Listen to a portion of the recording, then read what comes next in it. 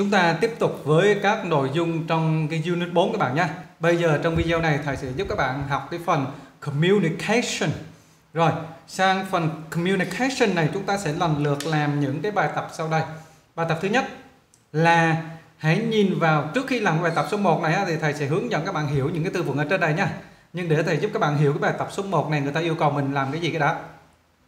Là người ta yêu cầu mình là nhìn vào những cái bức tranh ở phía dưới đây nè ở phía dưới này nó có những cái bức tranh này. Bức tranh thứ nhất này và bức tranh thứ hai này. Đó, chỉ có hai bức tranh đó thôi. Và làm việc theo cặp thảo luận sự khác biệt, những sự khác biệt giữa những hai bức tranh đó. Đó. Và bây giờ thầy sẽ giúp các bạn hiểu những cái từ trên đây. Ví dụ từ thứ nhất này, và thầy sẽ giúp các bạn hiểu cái phiên âm quốc tế và phát âm từng chữ luôn nha. Chữ này á là prom đó. Đây, thầy phiên âm quốc tế và cái cách để luận giải cho các bạn, lý giải cho các bạn hiểu cái từ đó luôn nè đây. Đây. Nó hơi hơi, hơi nhỏ các bạn. Rồi. Cái chữ brown này á là thầy tra từ điển anh anh rồi thầy giúp các bạn hiểu cái, cái cách người ta giảng giải bằng tiếng anh luôn. Rồi thầy dịch sang tiếng việt cho các bạn. Nó là một hoặc là hai hoặc là nhiều những cái mũi nhọn mà dài trong một cái vật đặc biệt là cái cái cái chĩa để ăn cái, cái chĩa để ăn đó các bạn. Cái chĩa để ăn trong cái các loại ăn uống à, cái cái dụng cụ ăn uống của người phương tây á. Thì thầy dịch sang tiếng việt cho các bạn là cái răng của các cái chĩa để ăn đó đó các bạn nha. Cái từ thứ hai trong cái này á, là từ gì các bạn? Từ ờ, uh, calorie calorie đây calorie này đây thầy giải nghĩa từ này luôn cho các bạn này. Calorie là gì? Là là những cái con dao, những cái thìa, những những cái nĩa và những cái thìa nó được sử dụng cho cái việc ăn uống những cái đồ ăn đó. Đó, dao, thìa, nĩa đó. Thì bản thân cái từ này nè, nguyên cái từ này này các bạn, nó là nói về cái dụng cụ mà cắt rồi ăn uống rồi đó liên quan đến các bác, các bạn nha rồi, cái từ thứ ba này, palm palm. Nó là sao? Nó là một cái phần ở bên trong phần ở bên trong của cái bàn tay của bạn.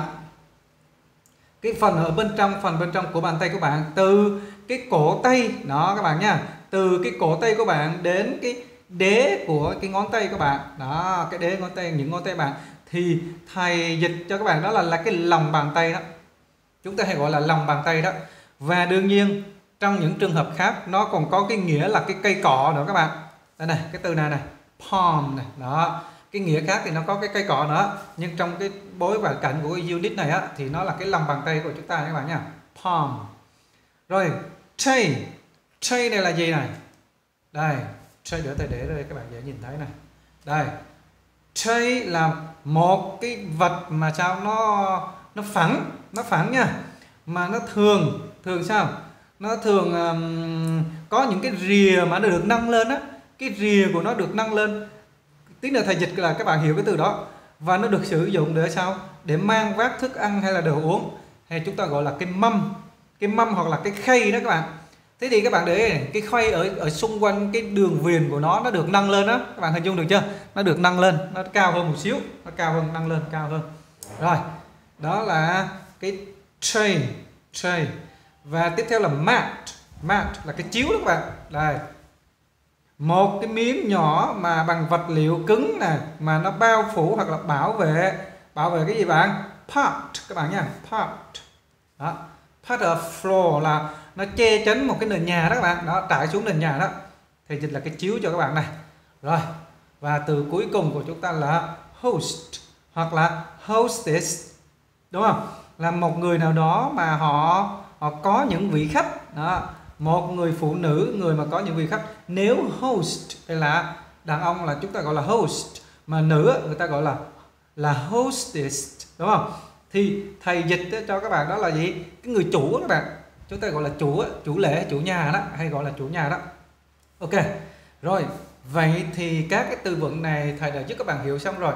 Thì bây giờ thầy thì diễn giải cho các bạn hai cái bức tranh này. Bức tranh thứ nhất và bức tranh thứ hai đây, các bạn xem cái thầy diễn giải cái bức tranh thứ nhất, bức tranh thứ hai cho các bạn này. Đây, nha. Rồi. In the first picture, people are sitting on the mat to eat. People are using the chopsticks and bowls trong cái bức tranh thứ nhất này, thì nhiều người, mọi người đang ngồi trên một cái chiếu để ăn cơm. Và người ta đang dùng những chiếc đũa và những cái tô chén để ăn cơm các bạn nhìn thấy chưa? Đang ngồi trên cái chiếu này. Đó, đang ngồi dưới này đó dùng tô chén ăn cơm này. Đũa này đũa này đũa này. Tô chén ăn cơm này. Rồi, nhưng cái bức tranh thứ hai là hoàn toàn khác, đúng không? Đó đó. Đây, nhìn bức tranh thứ hai này các bạn này. In the second picture, people are sitting around the dining table. They are using cutlery. Dining table là gì các bạn biết không? Đó là cái bàn ăn á, cái bàn ăn á. Là gì? Trong cái bức tranh thứ hai này á, thì người ta đang ngồi xung quanh cái bàn ăn và họ đã sử dụng những cái đồ ăn uống này, đồ cắt đồ ăn uống này. Rồi, dễ đúng không? Đó, ngồi trên bàn ăn và dùng những cái đồ này. Thìa nĩa này dao thìa nĩa các bạn thấy chưa? Dao thìa nĩa đó.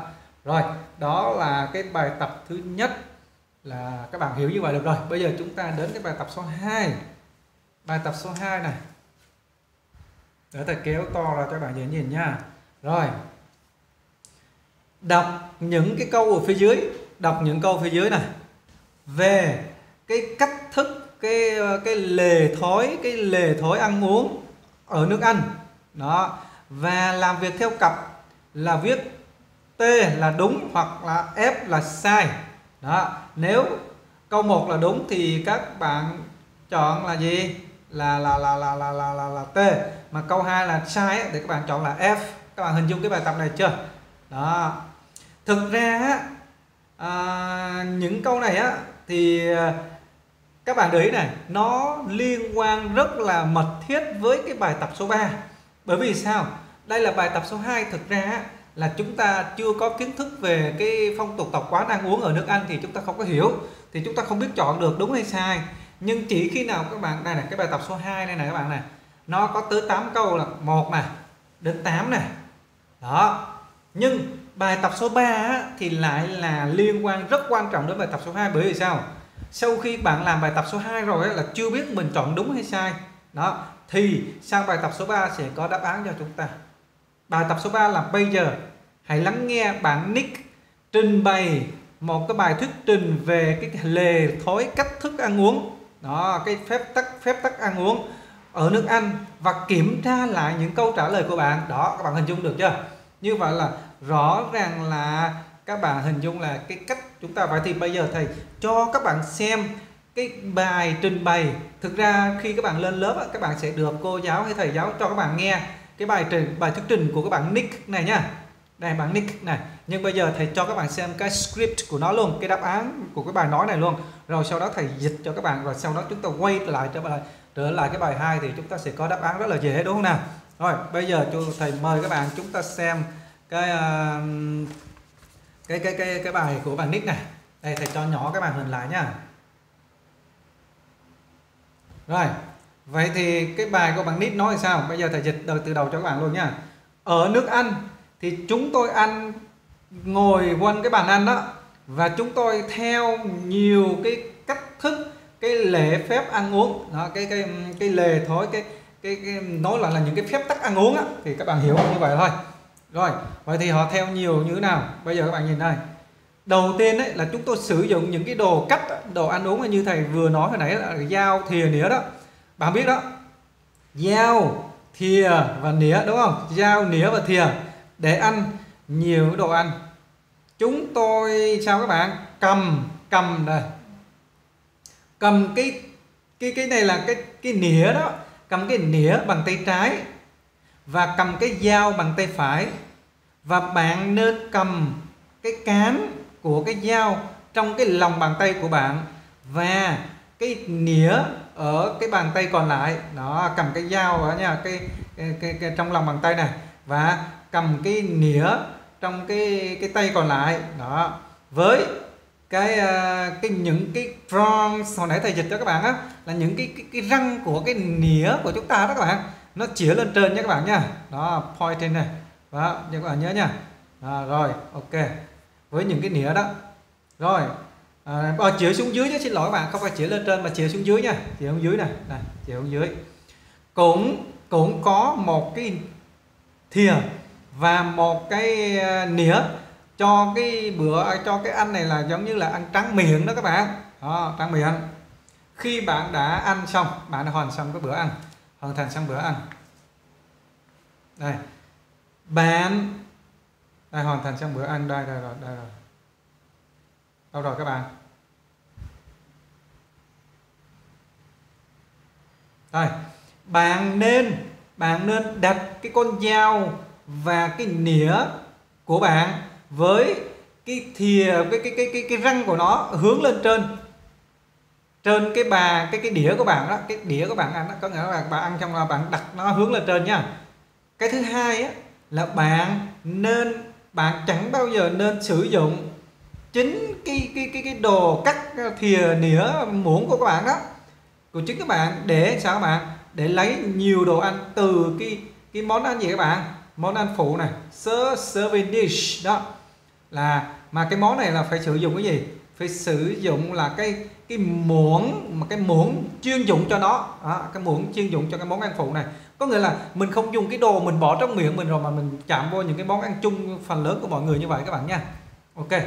Và bây giờ nếu có một nếu có sao? Nó có bánh mì ở trên bàn thì bạn có thể sử dụng những cái tay của bạn. Những cái tay của bạn sao? Bàn tay của bạn á để để lấy dùng bàn tay để lấy lấy lấy miếng lấy một miếng.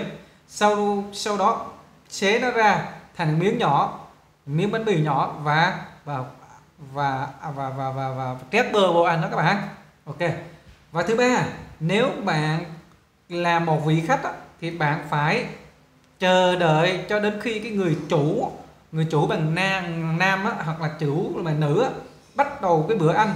Và bạn nên hỏi sao người khác để, sao các bạn, để lấy thức ăn, để với và lấy thức ăn đó.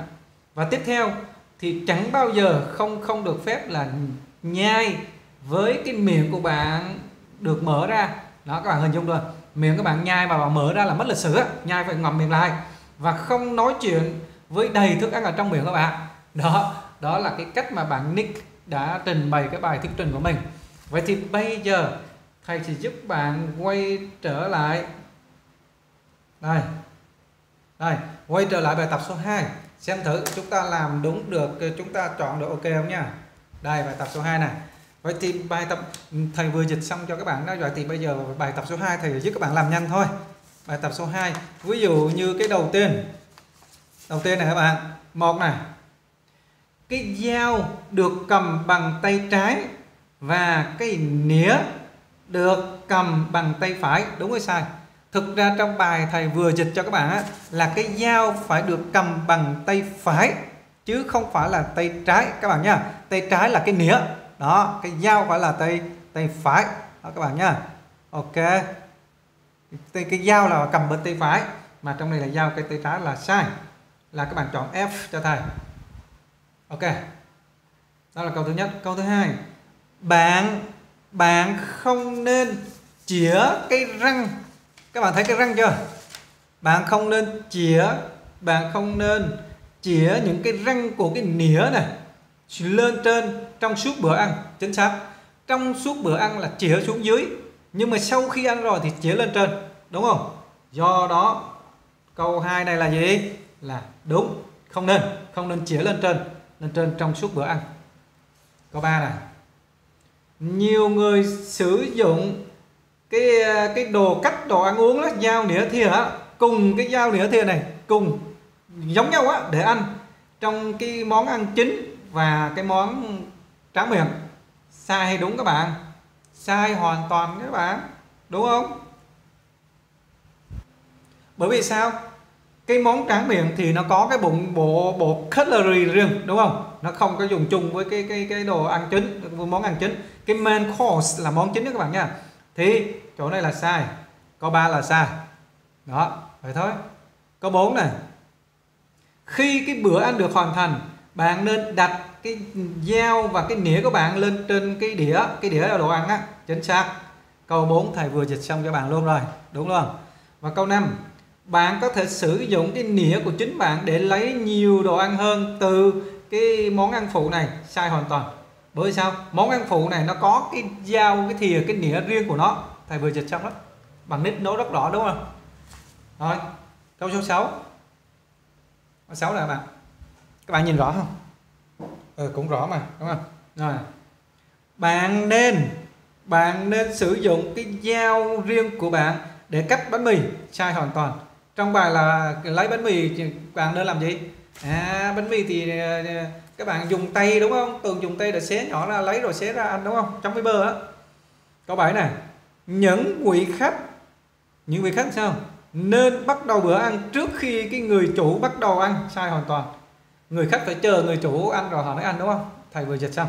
Và cuối cùng, bạn nên hỏi ai đó để lấy cái thức ăn cho một, đĩa thức ăn cho bạn đúng không? Lấy thức ăn, để với lấy thức ăn là ok.